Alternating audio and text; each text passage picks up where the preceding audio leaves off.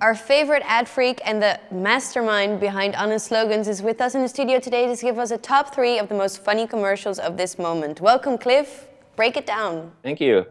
Uh, well, number three for me is the Discover It card campaigns, uh, the Surprise Goat.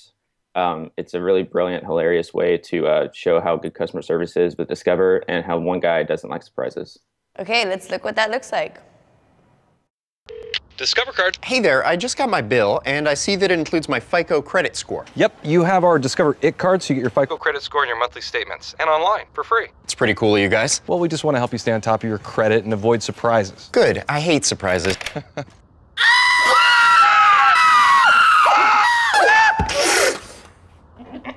Are you okay? nope. We treat you like you'd treat you. We've already given more than 175 million free FICO credit scores to our card members. Apply today at discover.com. Okay, Clif, and the second place goes to.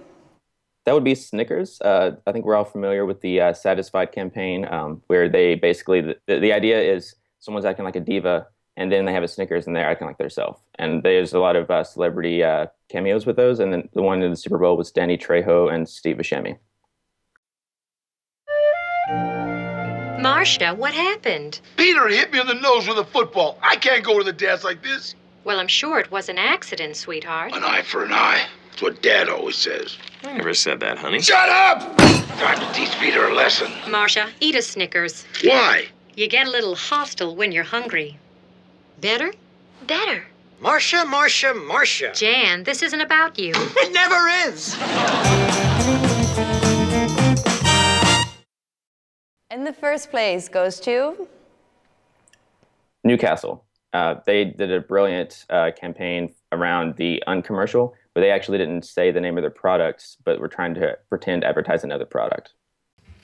Honey, have you seen my brand tortilla chips? Try cleaning the fridge. Nope. Nothing here. Try checking the basement, babe. I cleaned the whole basement, didn't find any serious crunch or bold nacho flavors down here. Check the garage. No up here either. Check under the sink. Nope.